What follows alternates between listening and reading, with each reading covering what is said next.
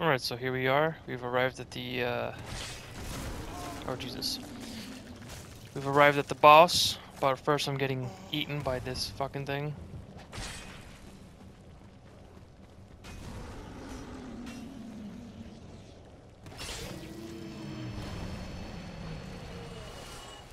Alright. And I think it is the Asylum Demon in here.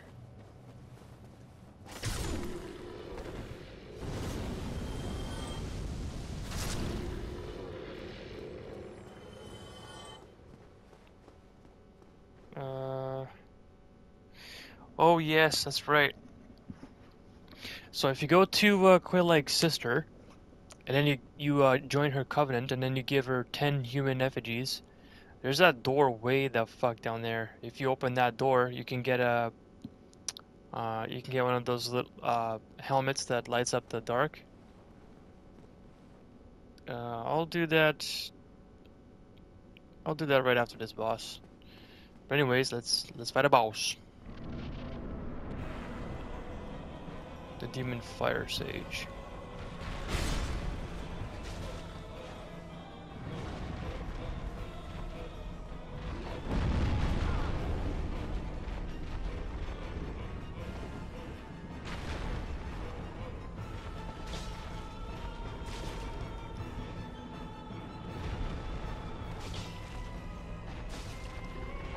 Pretty easy boss. Just try to bait it so he uses this attack all the time, and you're good to go.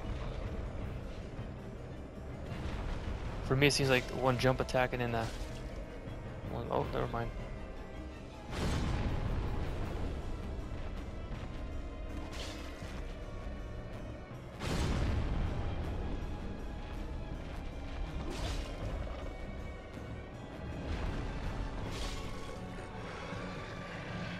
Cool.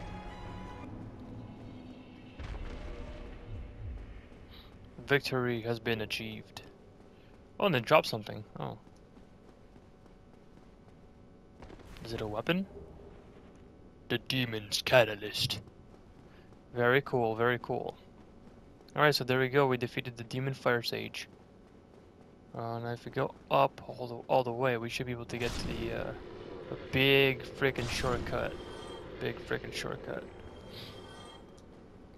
Like from um, from Quelaag's Sister's uh, bonfire. Uh, I wouldn't upgrade any other bonfire or, or, kindle up the other bonfire. Um, just the one that she's at because this is a shortcut right here. You basically go all the way to the top.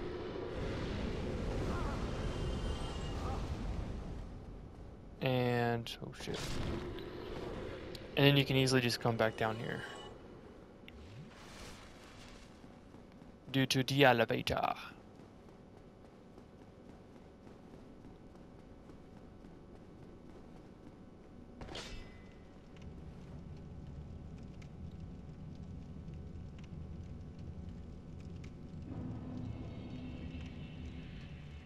See?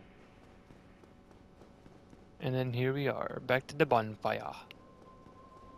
So since I'm here, hold on, let me just.